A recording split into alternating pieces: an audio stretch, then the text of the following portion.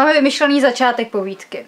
Už víme, kde se příběh bude odehrávat, kdo v něm bude vystupovat, čemu všemu to celé směřuje. Máme v hlavě představu té vybuchující kosmické lodi, romantického polipku, eh, hrdiny, který na konci všechny přelstí. No ale jak se tam dostat? Víte, občas se stává, že máte nápad na začátek a přibližně víte, jak příběh dopadne. Ale pak se přibližně po napsání první stránky zaseknete a řeknete si, sakra, ale co se vlastně v té povídce bude dít? Jak se dostanu k tomu konci?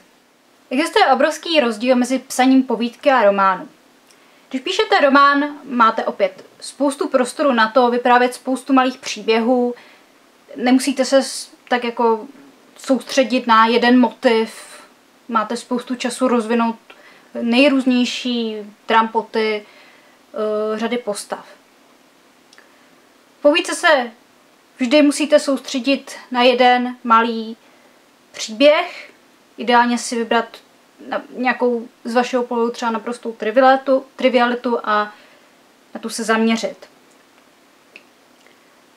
A právě protože to vyžaduje větší práce s tím, jak uh, ten sižet vystavět, jak ho udělat uh, koherentní, kompletní, uh, svázanější, tak si myslím, že spousta lidí, když píše povídku, tak má problém vlastně odkud kam směřuje, jak vlastně jednotlivé ty prvky postavit. Takže jsem se rozhodla dnešní kolo postavit na tom, že se podívám na pár takových tradičních sujetů. Eh, opět se podíváme do naší pokladnice českých a jiných pohádek. A tak nějak se podíváme, co se v nich děje a jestli bychom toho mohli použít, využít pro naše psaní. Na rozdíl od minule, kde jsem po vás chtěla, ať si vyberete pět lístečků a všechny zapracujete do svého úvodu, tak teď se naopak zaměříme pouze vždycky, se zaměřte vždycky pouze na jeden. Vyberte si jeden, eh, ten zpracujte a na ostatní se nedívejte a snažte se zaměřit pouze na tu jednu kartičku, na ten jeden svůj mikropříběh, protože píšeme povídku, povídka má být uzavřená a buďte v tomhle disciplinovaní, prostě neodbíhejte od toho dějového oblouku, který jste si vytyčili. Moje rada. A já jsem vám řekla, že si můžete vybrat. Ne, můžete si vybrat samozřejmě, přátelé. Minule jsme si hráli s kostkami, tentokrát si budeme hrát s kartami. Samozřejmě nemusíte být tak megalomanští jako já, můžete si vybrat obyčejný balíček a potom budete věštit z karat. Jo? Takže vytáhnete si svůj obří balíček a z ní si vylosujete jednu kartu, třeba křížovou dvojku a podle ní si vyberete teda pohádku, eh, respektive nějaký sižet, kterého se budete držet. Já vám opět všechny představím, trošku vždycky každému něco řeknu. Eh, na každé kartičce je vždycky napsáno nějaký jako základní, základní motiv, kterého se máte v té povídce držet, základní, eh, základní příběh, příběh té, té vaší povídky. Eh, a vedle toho jsou tam vypsány nebo napsány ty pohádky, ve kterých si myslíme, že se eh, tenhle sižet řeší. Samozřejmě můžete si pomocí té pohádky trochu pomoci, přečíst si jim, často si to zpěváci už ty pohádky nepamatují a využít i nějaké další motivy jemně z té pohádky. Můžete si krást, to pro vás taková malá perlička, takový malý bonus. Ale pokud nepoužijete žádný další motiv z té pohádky, jenom se podíváte, aha, tady je sněhurka sedm trpaslíků, co, co z něj temnářka v rámci vyvisekce vydloubala, tak je to naprosto v pořádku. Tak, pojďme se podívat na ty konkrétní kartičky. Takže, pokud si vylosujete dvojku, tak zde máme lásku navzdory tělesí nebo jiný nedostatku. V tomto případě mi nejde pouze jenom o lásku, ale třeba i o to, že ten hrdina dosáhne nějakého úspěchu nebo se ukáže, že nakonec je prostě ten pan úžasňák. Ehm, můžete si všimnout, že kromě teda krásky a zvířetek, což je takový, řekl klasický sižet, který se používá v romantické literatuře a prince žebáka, což je vlastně, kde vlastně se nachází obdobný motiv, tak tady máme ošklové kačátko, takže eh, ten motiv ošklivého kačátka, že hrdina je ta ošklivka a nakonec z je krásná laboť, je taky použitelný, pokud se vám zrovna nechce psát romantiku. Pokud si vylosujete trojku, eh, máme tu hrdinu, který čelí úkladům záporné postavy. Ta povídka by teda se měla týkat toho, že hrdina je teda ten chudák a nějaký, nějaká jako vyšší moc, klidně jako úřední vyšší moc nebo nějaký, nějaká policejní vyšší moc, nemusí to být jenom člen rodiny, ho soustavně týrá, on se snaží nějak přežít, nějak eh, si ten život uspořádat i navzdory eh, těm ošklivým, zlomyslným eh, úkladům, kterému ten záporák připravuje. Pohádka, z které jsme vypitovali tenhle motiv, je Sněhurka a sedm trpaslíků. Na kartě s číslem 4 najdete úplně klasický střed s netvorem. Těch pohádek, ve kterých se odehrává střed s netvorem, je jistě celá řada. Teď jenom mimo mě napadají různé pohádky o princi, který bude s černokněžníkem, princip, který bude s drakem, princip, který bude se soudchýní. Eh, v tomto případě jsme vybrali červenou karkulku.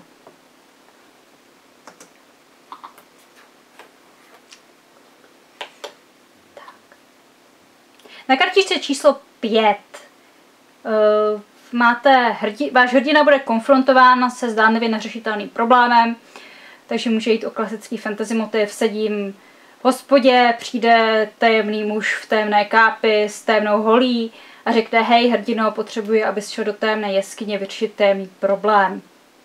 A hrdina říde, řekne ouha, ale do témné jeskyně se jenom tak nedostanu a teď začne, ale zároveň dostane za svůj za svoji námahu může dostat takovou odměnu, že ho to motivuje k tomu, že se bude snažit vymyslet, jakým způsobem se do témné jeskyně uh, dostane. Jako pohádku jsme tady vybrali 12 měsíčků, kde Maruška dostane úkol donést hody uprostřed zimy, což asi není úplně jednoduché, když nemáte v dosahu Tesco. Uh, na kartičce číslo 6 se nachází si, že jde, váš hrdina bude potrestán za to, že říká, co si myslí. Zde jsme vybrali pohádku Sů nad zlato. Na sedmičce eh, váš hrdina naopak nebude dodržovat pravidla, nebo se nenechá poradit a spadne do nějakých potíží. Eh, těch pohádek, kde, které jsou takovéhle výchovné a nějaký rodič radí, nebo vychovatel radí svému mrněti, jak má si pořadit v určité situaci a on ho neposlechne a následně se žráno nějakou příčerou. Je celá řada. Můžete se bavit u pohádky o kouzlácích, nebo si můžete pustit budulínka, případně zase tenhle motiv eh, je i ve třech prasácích s tím, že prostě dvě, dvě silata od, odfláknou stavu svého, své nemovitosti a e, poslední sele je zodpovědné a proto jeho domeček vydrží.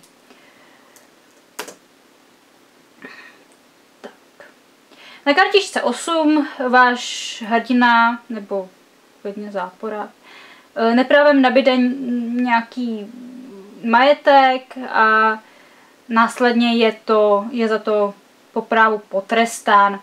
Případně eh, nemusí, to, nemusí jít o to, že hrdina něco ukradne, může třeba vyhrát loterii a následně spichne a nějakým způsobem se zachová nemorálně a prostě se mu to pravděpodobně vymstí, pokud to chcete směřovat tímhle stylem. Pohádky, kde najdeme tenhle, pohádek opět, kde najdeme tenhle motiv, je celá řada. My jsme tady nahodili třeba hrnečku vář, anebo klasický motiv se zlatou rybkou. Na kartičce číslo 9 máme hrdinu, který nevyhnutelně směřuje ke katastrofě. Vybrali jsme šípkovou růženku, samozřejmě v tomhle případě nemusí jít o nějakou magickou kletbu.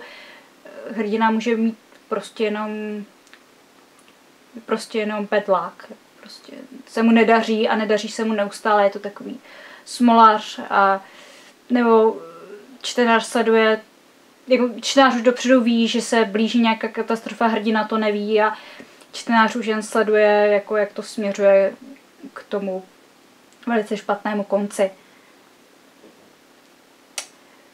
na kartičce číslo 10.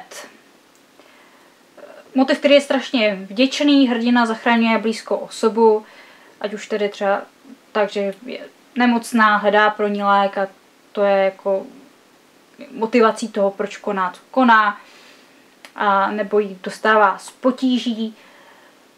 Vybrali jsme tady kohoutka slepičku. Jistě by se našla jiná pohádka, ale když máte kohoutka a slepičku, musíte tam dát kohoutka a slepičku. Takže karta kluka. Hrdina si dopřeje zapovězený pošitek a proto se dostane do potíží. Jdou děti lesem, vidí perníkovou chaloupku, neodolaj, mají hlad, nakrmí se perníkem, vyleze čarodějnice. Eh, karta královny. Eh, hrdina musí přijít na způsob, jak se dozvědět nebo ověřit pravdu. Tady máme motiv princezny na hrášku.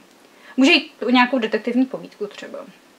Motiv na králi je, že se hrdina vytahuje a jeho pícha předchází pád. Tady máme zase koblížka.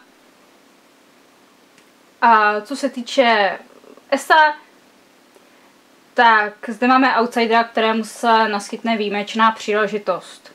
Opět popelka, ona ta popelka taky svádí k nějakým jako výkladům romantickým, ale vůbec nemusí to nějakou romantiku, můžete napsat něco, cokoliv v zásadě. Jo, jako. Důležité je, aby ten hrdina se nějakým způsobem dostal nějaké příležitosti, jak si mimo, mimo svou sociální bublinu a, a využít lidí. Takže to bude, co se týče dnešního úkolu, všechno. Opět můžete úkol použít nejenom na literární dílny, můžete seznam si že tu použít i při svém seriózním psaní, je tady čistě pro vás. A v příštím videu se podíváme na to, jak celou tu šarádu ukončit a bezpečně se dostat do přístavu jménem Závěr. Budu se na vás těšit a ahoj. Oh. Jak se to jmenuje ta karta? Je... Uh, kluk. kluk, díky. Takže kluk, když si vy, vy, vy kluka, tak uh, motiv vaší povídky bude to, že si váš hrdina dopře nějaký zapovězený požitek. Pardon.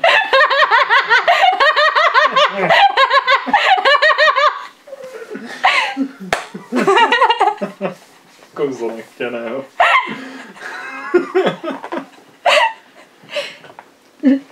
Spodek. Třeba tě to bude... to je o moc lepší, Ondro. Když si berete spodka. Subíka. Když si vytáhnete kluka nebo spodka, tak si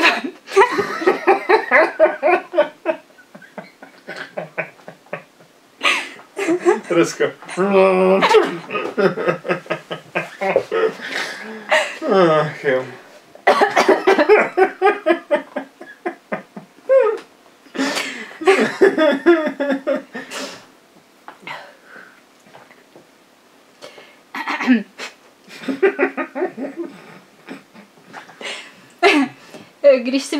Vytáhnete kluka nebo spodka. Jenom kluka. ne, že by to bylo jako moc lepší. Je. Když si vytáhnete kartu s klukem, tak... Nej to! Spotka, ne, nedělej, řekni spot.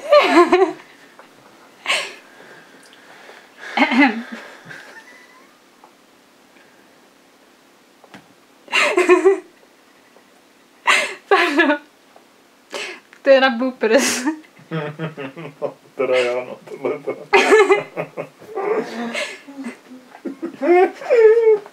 A ještě ta períková chaloupka. Když si vyberete kluka, tak máš, že on se zažije Zapovědělý požitek perníkového.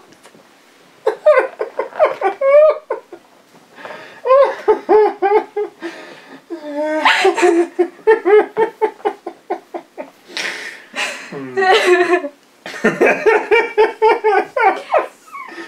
je, ale to je anglický night, že jo, tak Ne. ale to se nedá říct Ne, česky, Night že? je, Night je svršek, ten je jenom v tarotu. Tohle to je Jack. Jo. To je Page, že jo, to je páže. To je ten opěšalej, že jo. páže, páže, řeknu spáže ten perníkový chlapc. Ne, ne, ne, ne, ne. Páže nikdo nezná. Myslím, to nic, ono to nedává smysl, to, to, myslím si, že... Jo, jo, dobrý, já jsem, já jsem Night je profesionál. právě svršek, že jo, který jako... Svršek spodek. No ne, no, Night je svršek, že jo, který tady není. Protože je slitej s královnou, že jo,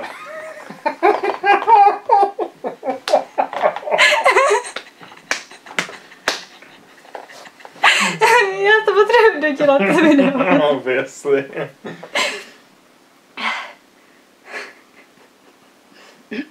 tak. Když si vytáhnete kluka, váš hrdí asi...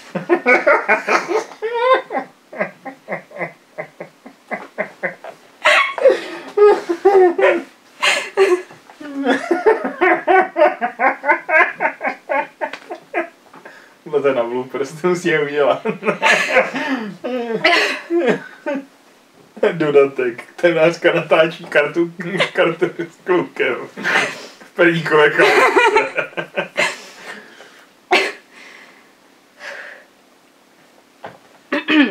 Takže karta kluka.